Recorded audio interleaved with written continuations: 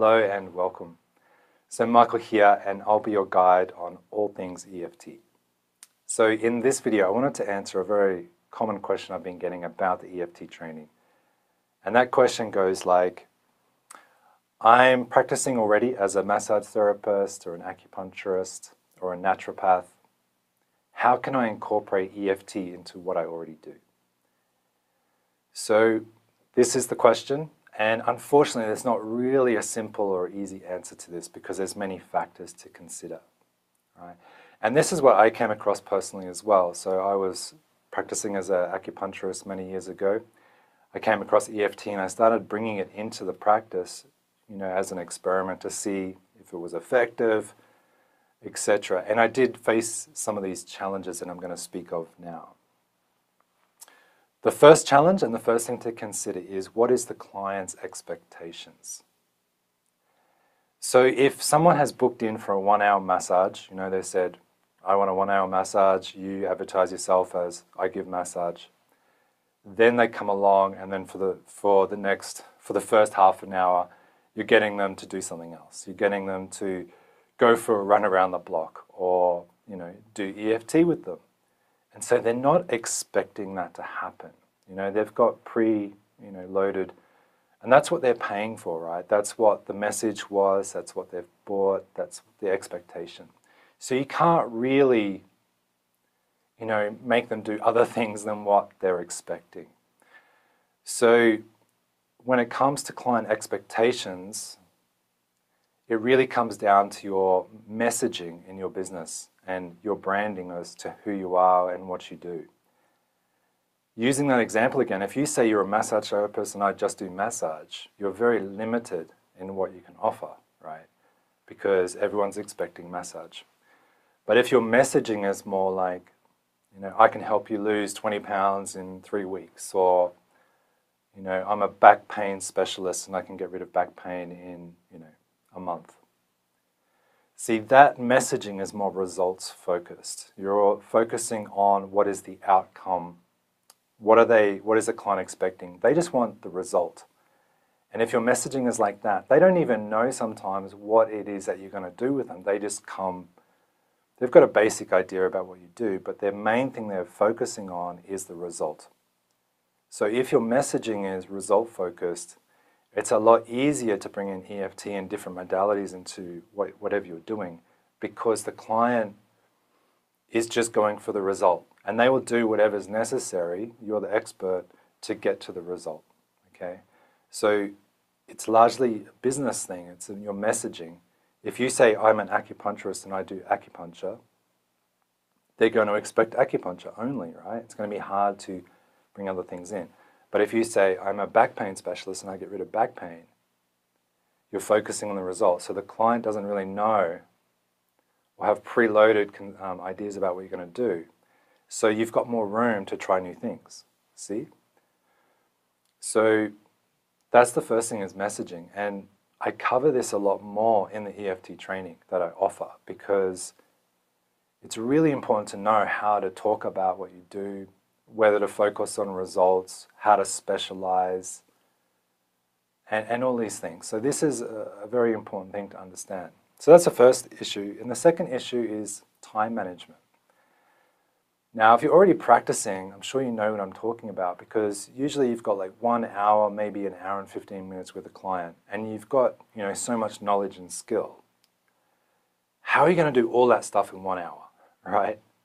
If it's the first time they've got to fill in forms, they've got to do a, a consult, you've got to talk to them, you've got to diagnose if that's in your um, practice.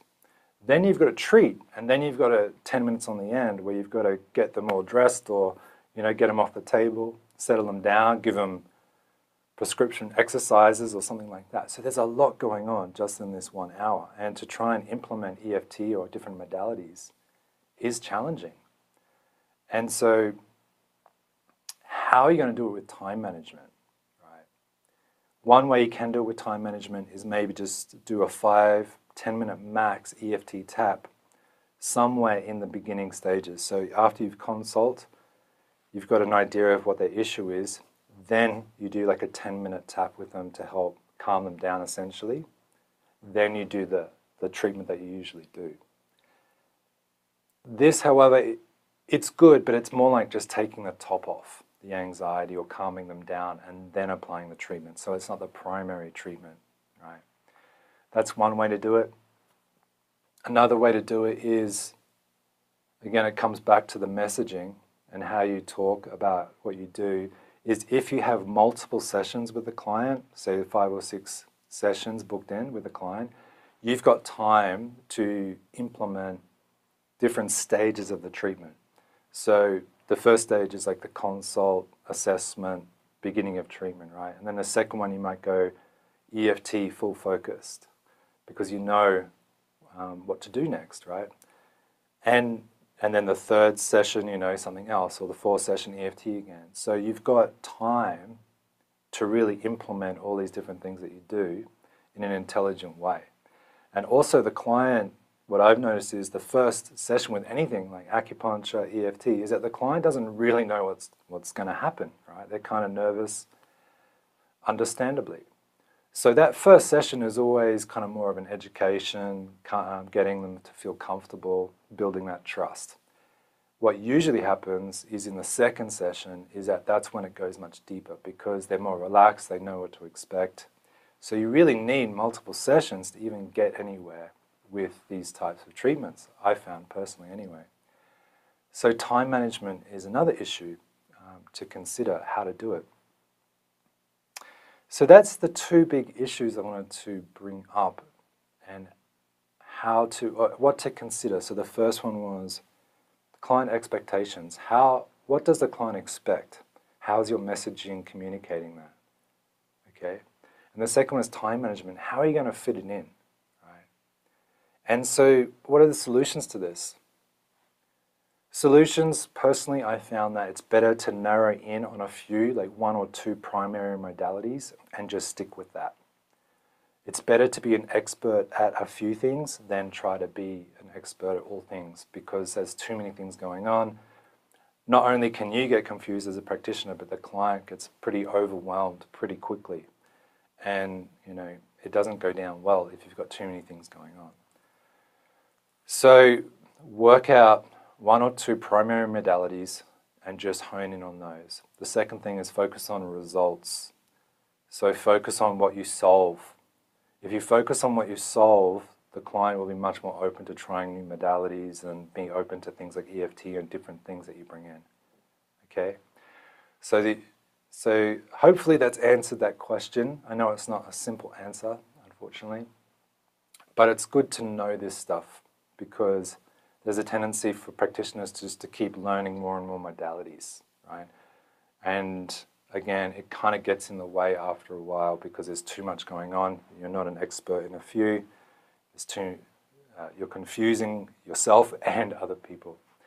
So hopefully that's helpful. If you have any other questions, let me know. If you want more videos like this, be sure to subscribe. And also check out my EFT training if you're interested in learning EFT. And we go much more into this type of subject. We talk about the business as well as the practice. Thank you.